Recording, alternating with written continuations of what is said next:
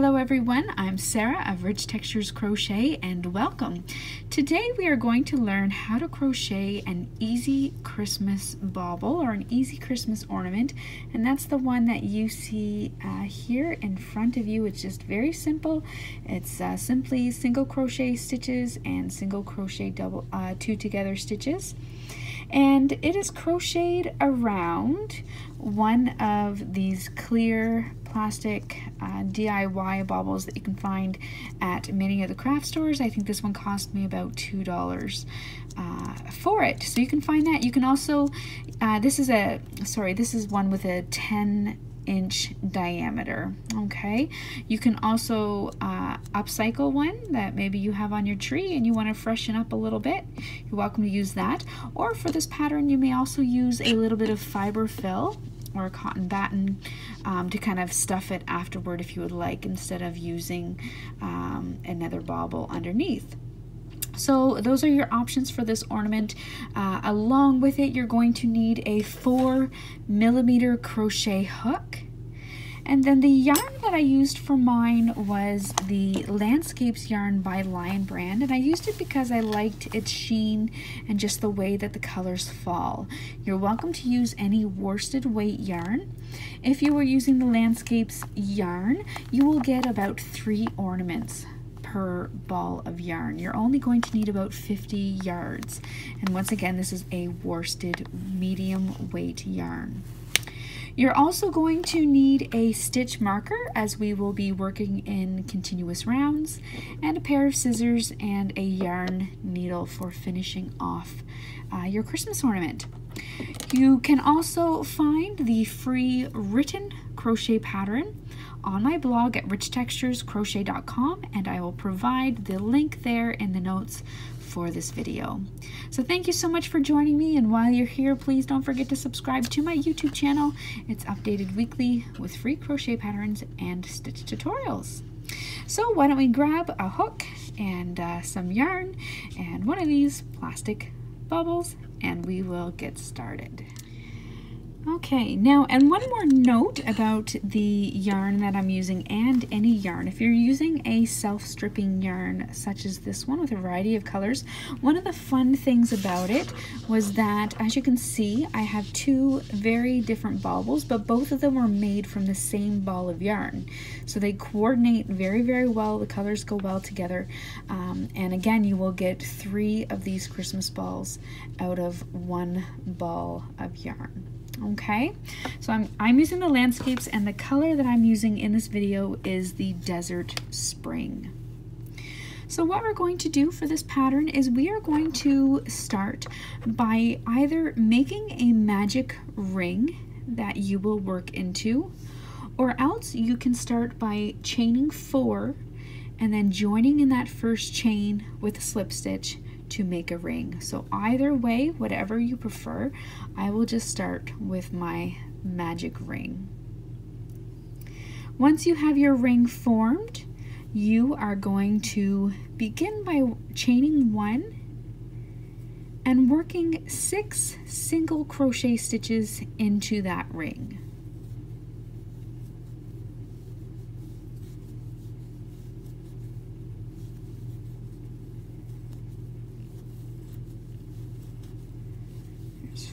Five, and six. At the end of your six single crochet stitches, you will not join, but instead if you've worked a magic ring, you can tighten it or uh, otherwise you can just continue working on and you're going to get your stitch marker handy. For round two, you're going to continue working in the same direction and working in the back loop only, you are going to single crochet, uh, work two single crochet stitches in each stitch. So if I look at the top of my stitches, and it's harder to see here because I've started with a darker color yarn uh, in this, you'll have a V here up at the top. That horizontal bar, the furthest away from you, is your back loop okay so you're going to be working for the entire pattern only under that back loop so simply insert your hook under that back loop. The first one is a little bit tricky. I find it always pulls tight. And you're going to start by working two single crochet stitches uh, in each stitch all the way around. Now you're going to want to mark your first stitch and you will move your stitch marker as your work progresses, but you just want to always be aware of where that first stitch is. So go ahead and work two single crochet stitches in each stitch all the way around. You will have 12 stitches at the end of this round.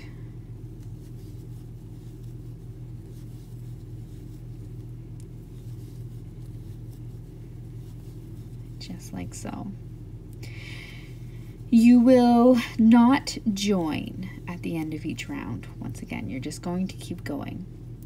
So then for, that was round two, round three, again working in that back loop only, you're going to place two single crochet stitches in the first stitch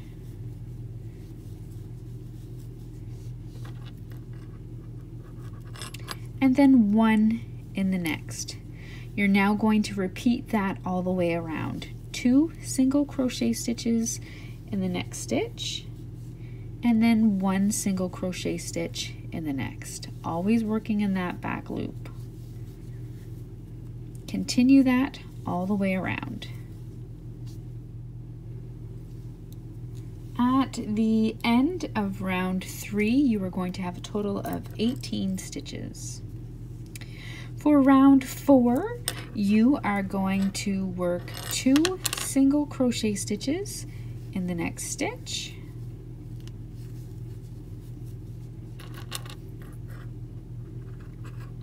followed by one single crochet stitch in each of the next two stitches.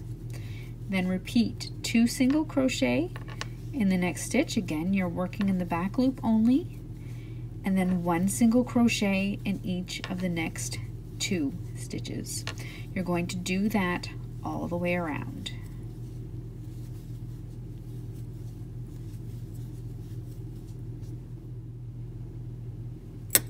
At the end of round four, you're going to have a total of 24 stitches. We're going to continue our increases for round five. We're going to work two single crochet stitches in the next stitch in that back loop only, followed by one single crochet stitch in each of the next three stitches. Then repeat two single crochet stitches in the next stitch and then one single crochet in each of the next three stitches. You're going to continue that all the way around. At the end of round five, you are going to have a total of 30 stitches.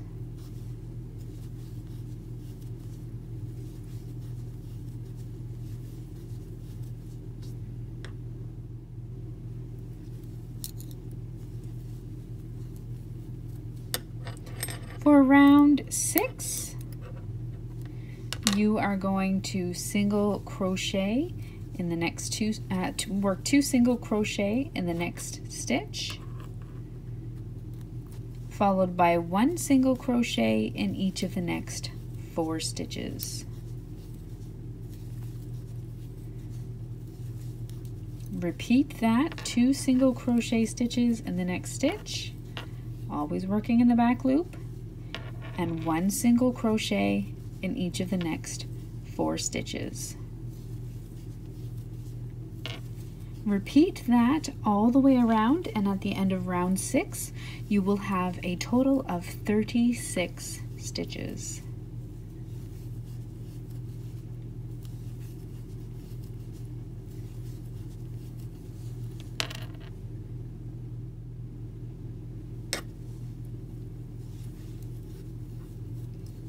For round seven, you are going to work two single crochet stitches in the back loop only in the next stitch.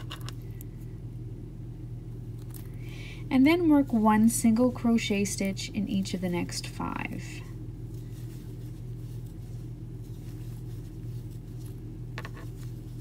then repeat two single crochet stitches in the next stitch back loop only and then one single crochet stitch in each of the next five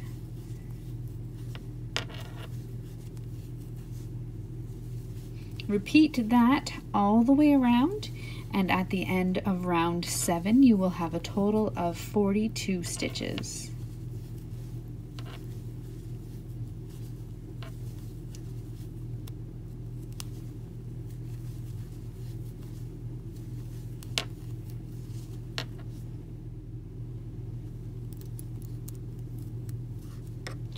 For round eight, you are going, this is the last of our increase rounds, and you're going to single crochet, uh, work two single crochets in the next stitch, followed by one single crochet in each of the next six stitches.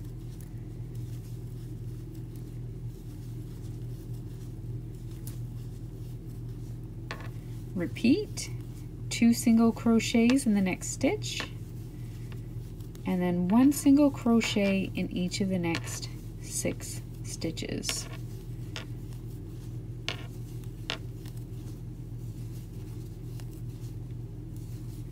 Repeat that all the way around and at the end of this round you will have a total of 48 stitches.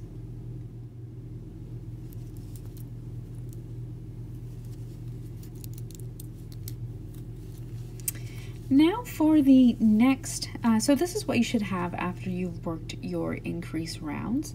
So that uh, last round eight will have a total of 48 stitches.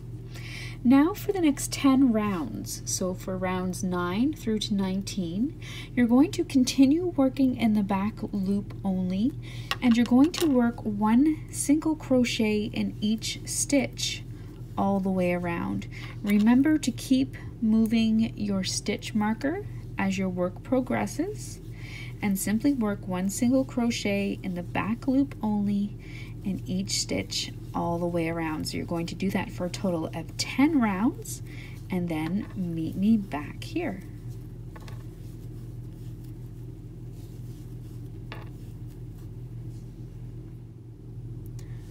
Okay, so now at the end of round 19, you're going to have something that looks kind of like this.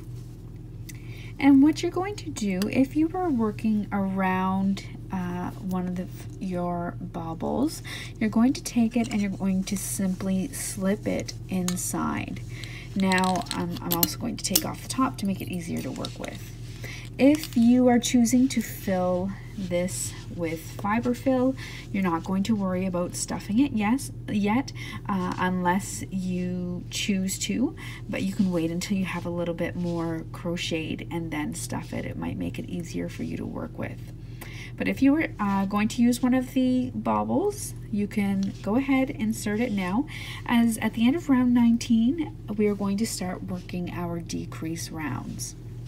Again, you're going to want to keep your uh, stitch marker in place and keep moving it as your work progresses.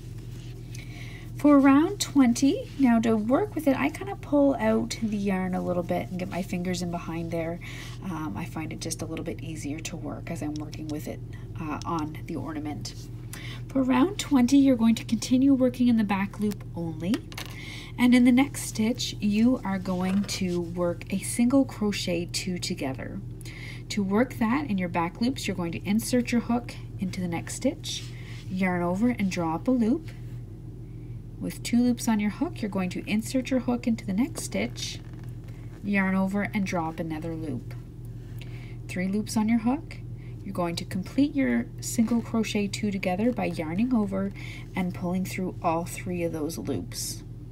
Okay, then remember to place your stitch marker once again and then you're going to proceed by working one single crochet in each of the next six stitches.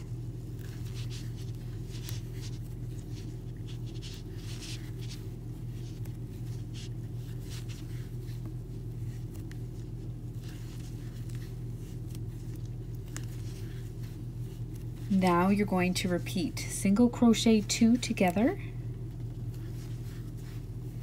followed by single crochet in each of the next six stitches. You're going to continue that all the way around.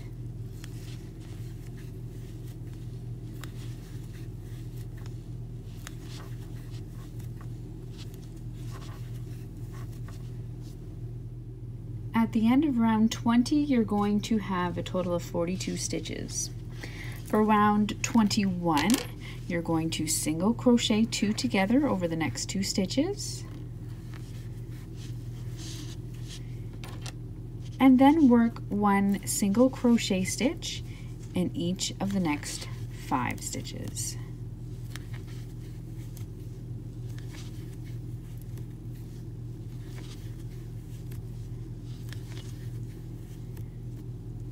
Repeat single crochet two together and then one single crochet in each of the next five. So you're going to continue to repeat that all the way around. At the end of this round, you will have a total of 36 stitches. For round 22, you are going to single crochet two together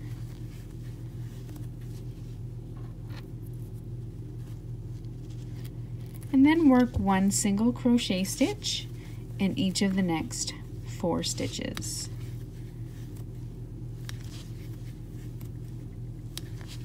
Repeat that single crochet two together and then one single crochet in each of the next four. Repeat that all the way around and at the end of this round you will have a total of 30 stitches.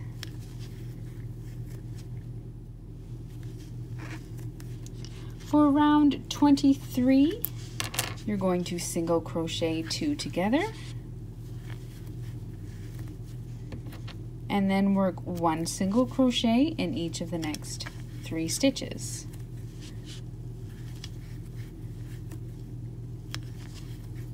Repeat that all the way around, single crochet two together and single crochet in each of the next three stitches. Repeat that all the way around and at the end of this round you will have a total of 24 stitches. For round 24 you are going to single crochet two together. Then single crochet in each of the next two stitches. Repeat that all the way around and at the end of round 24 you will have a total of 18 stitches.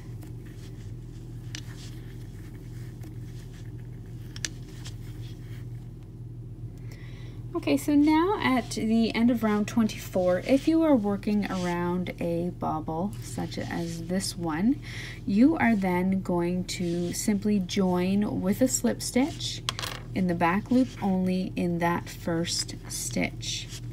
If you are continuing on to uh, close the top completely, you can go ahead and stuff it now with uh, your uh, fiber fill and then you're going to continue your decrease round. So then for round 25 you'll single crochet two together and then single crochet in the next stitch. And then for round 26 you'll single crochet two together all the way around. So that's if you're stuffing it with the fiber fill if you are working around an ornament just like I am you're going to join with a slip stitch. And uh, the same if you are um, stuffing it. When you come to the end of your round 26 you're going to join in the first stitch with a slip stitch in that back loop only. And then you're going to fasten off. And you're going to fasten off leaving a bit of a longer tail. So just fasten off just like so when you come to the end of your ornament. You will notice up at the top if you're working around one it might be a little bit loose up here but don't worry about that. What you're going to do at this point is you're going to take your yarn needle and you're going to thread that long tail on and then I simply took it and wove it in and out around the top of my ornament. So you're going to do the same uh, if you're stuffing it or if you're working around an ornament just weave your yarn in and out.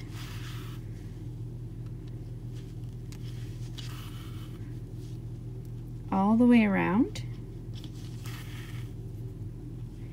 And when you come back to that beginning, you're going to pull the top of your ornament closed. So pull it together so that it is snug. Then at that point, you're going to want to fasten it off. So I just very tightly right against uh, the top of my ornament here. I did tie a little knot. sorry, I hit my camera there. And then I wove it under. Kind of hide my end there a little bit. And then trimmed it off. And that's all there is. I can stick my top back on.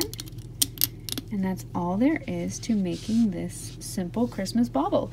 And you can see I use the same ball of yarn for each of these and I have three uh, very different ornaments and I do have a little bit of yarn left over. So thank you so much for joining me on this tutorial on how to make these easy Christmas baubles. Uh, don't forget to subscribe and until next time, happy crocheting. Bye.